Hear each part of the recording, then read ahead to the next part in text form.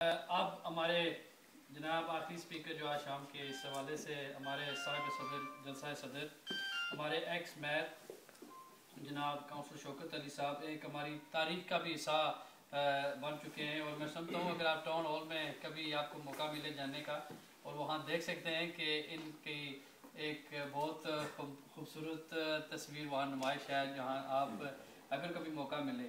तो मैं समझता हूँ is very proud for our community कि एक ऐसे ऐसा हमारा एजाज़ हमें मिला है। उसके बाद यहाँ काउंसिल जगीर साहब ने एक बात की थी कि ओपनिंग डोर्स आई थिंक उस जब ये मैच थे तो मैं समझता हूँ कि हमारी कम्युनिटी के लिए सिर्फ़ राधरम से नहीं, लेकिन शफील से और इर्द गिर्द गुआ से, यहाँ से काफ़ी लोग हमारे इनके मेहमान वहाँ रहे हैं। तो जो मैथ का पार्लर था, वहाँ हमने अच्छा यूटिलाइज किया है।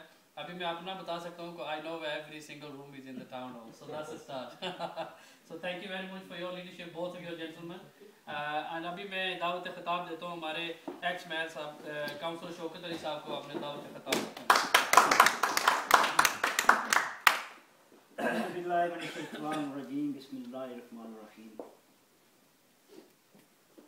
मेरे काबिल इतराम आज के डिस्टिंग्विश गेस्ट मेरे छोटे भाई रॉबरम की शान और शौकत, उस अजाज के मालिक जो आज़ाद इनको परमानेंट है वो डिप्टी लीडर और ये पहले भी कह चुके हैं कि ये पहली दफ़ा एक्टिंग नहीं बने, ये तीसरी, चौथी दफ़ा एक्टिंग कर रहे हैं एक्टिंग लीडर की कर रहे हैं। ये जो अल्फाज मैं कहता हूँ ये मैं अपने दिल से कहता हूँ दिमाग से कहता हूँ।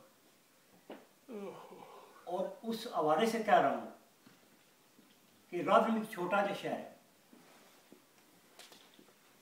इस शहर के हवाले इस शहर में रहने के लिए जो लोग आज से पचास साठ साल पहले आए उनमें से इनकी फैमिली के मेंबर भी बहुत थे जो यहाँ पर आए कि उस जनरेशन की प्रोडक्शन है जो आज हाईएस्ट लेवल राज्य में रिप्रेजेंट हो रही है। आज़ाद मिलते हैं, आज़ाद डिलीवर होते हैं। ये एक आदमी काम नहीं होता। ये उस जनरेशन का काम होता है, उस कम्युनिटी का काम होता है जिसमें कुमते हिम्मत होती है और विजन होता है। मेरे प्यारे भाई काबिल इतराम जनाब मौलाना इब्रार कारी साहब ने जो फरमाया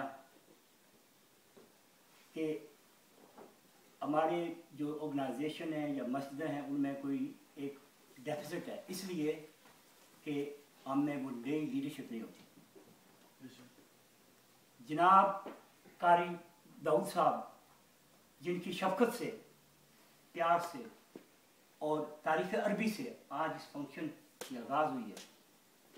ये भी हमारे लिए बास फ़ख्र है कि हम में ऐसे जवान मौजूद हैं। और सबसे आए जिन लोगों का मैं खादम हूँ, लीडर नहीं हूँ, ये मेरे भाई खादम है, ये लीडर नहीं है, वो आप है। हम वही काम करते हैं जो आप चाहते हैं, क्योंकि हम आपने हमें इलेक्ट किया। उसी हवाले से, उसी रोशनी से मैं और मेरे भाई डिप्टी लीडर जंगीर अख्तर साहब और आप लोग ये चाहते हैं कि नई रोशनी आए जिसमें तजम्मल खान भी आए।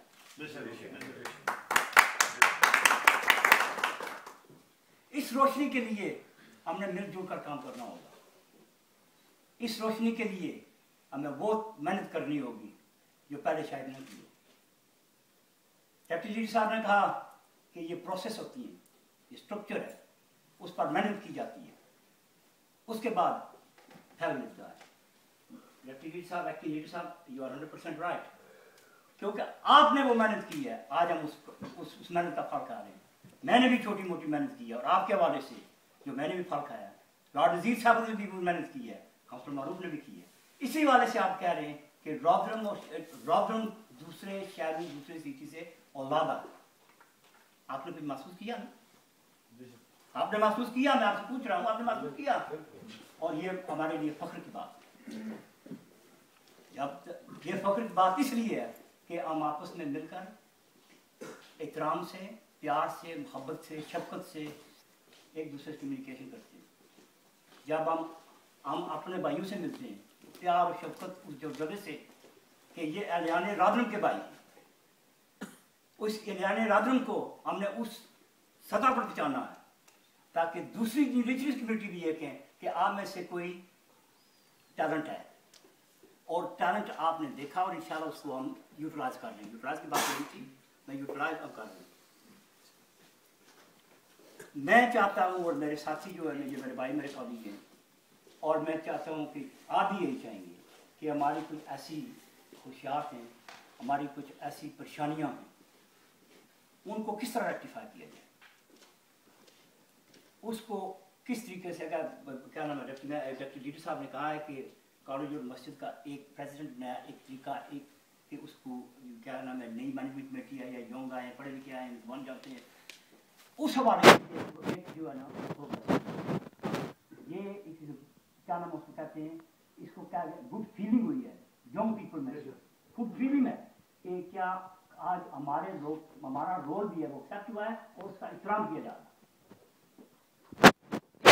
से हम चाहते हैं कि जितने भी और दूसरी इंस्टीट्यूशन है उसमें उस हवाले से वही तरीकाकार इख्तियार करें जो मेजॉरिटी जिसको एक्सेप्ट माइनॉरिटी नहीं मेजॉरिटी बरादरी की किसी की मस्जिद ना होनी चाहिए किसी बरादरी से बना होनी चाहिए किसी चौधरी की मस्जिद नहीं होनी चाहिए किसी राजा की मस्जिद नहीं होनी चाहिए किसी मस्जिद खाना खुदा है। अगर हम आबादत कर कर सकें वो इबादत के लिए है। और उसका परवरिश करना उसकी हिफाजत करना ये हमारा पर फ़र्ज़ बनता है। मोरा साहब मैंने गलत कहा ये हमारे महल्ले का ये हमारा फ़र्ज़ है। इसमें उस फ़र्ज़ में हर आदमी का रोल होना चाहिए, उस रोल और रिस्पॉन्सिबिलिटी में। बहुत सी बातें हुई आखिर में मैं क्या कहूँ कि जितनी भी बातें हैं, इस हवाले से हुई हैं कि किसी ने अपने लीडर साहब ने जो काउंसिल का स्ट्रक्चर था वो बताया बजट का मसला था काउंसिल टैक्स का, ये बेहतर जानते हैं। और उसमें जो डिसीज़न मेकिंग बॉडीज हैं वो होते हैं, इन्होंने रोल और रिस्पॉन्सिबिलिटी जो हमारे, जो अपने अपने पाकिस्तानी काउंसिल समझे मैंने और इन्होंने इन्होंने बिल्कुल हंड्रेड परसेंट कहा है कि हम हमने कभी नहीं सोचा कि हम पाकिस्तानी काउंसिल ये मत से कि हम कम जिस भी वोट में आप जाएँगे आपको मेजोरिटी वोटर इंडिजिस वोटर मिलेंगे। इस हवाले से कि ये काम राधरम का है। ये राधरम की आवाम के लिए हो रहा है। इसलिए इसमें ना कोई किसी बैकग्राउंड की ज़रूरत है ना किसी किसी की जो जो- क्या आइडेंटिटी की ज़रूरत है। ये तो आप खादम मानकर काम कर रहे हैं। उस हवाले से भी बाकी इन्होंने कहा कि प्लानिंग इशू है ये भी वो वो आपके सामने है। अगर हमसे अगर कोई गलती भी हुई हम तो इंसान हैं खुदा के बंदे से गलती तो होती रहती है। गलती से कोई कोई कोई, नहीं कह सकता मुझे गलती नहीं होती। अगर वो भी आए तो हम बड़े दावे से कह सकते हैं कि हमारे से गलती हुई है दावा इसलिए कहते हैं कि हम आपको अपना सरबराह समझते हैं। आप अपने ना आप आपके खादम हैं। इसलिए ताकि अगर हम उससे गलती हो तो उसको भी माफ़ करें उसको दोहराने के लिए हम एडवाइस करें। हम एडवाइस लेते हैं। लाट वज़ीर अहमद की बात है हमने दो साल काम किया। भाई की तरह मैंने उनसे सीखा, उन्हें मुझसे सीखा। हर आदमी की अपनी कैपेबिलिटी होती है। उसका एक तरीका होता है गवर्नेंस का तरीका होता है प्रोडक्शन का तरीका होता है। उस हवाले से जो भी हो उसमें बाकी जितने भी ऑर्गेनाइजेशन है, यहाँ के छोटे मोटे प्रोजेक्ट हैं। डिप्टी लीडर साहब यहाँ हैं, मैं भी वहाँ काम करता हमारी कोशिश रहती है कि उनकी सपोर्ट की जाए। हमारी कोशिश की जाए कि उनकी पूरी गवर्नेंस हो। इसी हवाले से कि जो आने वाली जनरेशन है जो आने वाली जनरेशन है उस पर कोई बोझ न डाला जाए। एक बहुत बड़ा बोझ होता है जब नकमी कौम होती है ना तो नकमी लीडरशिप होती है उसके लिए वो बोझ बन जाता है। हम यही चाहते हैं कि हमारी इंतहाई कोशिश यही रहती है कि हम बोझ न बने कि आधा आने जनरेशन को मौका दें।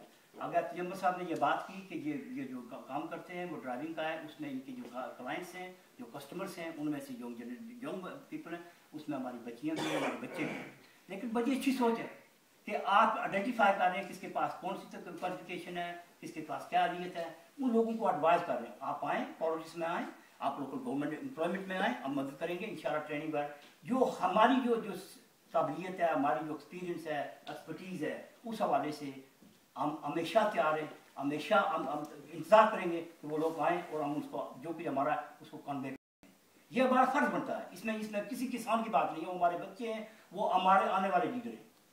उनके लिए अगर हमने फाउंडेशन ना बनाई तो दूसरा कोई नहीं बना सकेगा। और हमें अल्लाह ने मौका दिया है। ये मेरे भाई, मेरे छोटे भाई जो बड़े हैं। नजीर साहब हैं, मारूफ काउंसिल मारूफ साहब हैं। और इनशाला जो अपने जमर साहब भी हैं। हमारी यही विजन होगा, यही हमारी एस्पिरेशन है कि हम उन लोगों को तैयार करें ताकि वो फुल फ्लैश आप, हर हिस्से में अपना जो है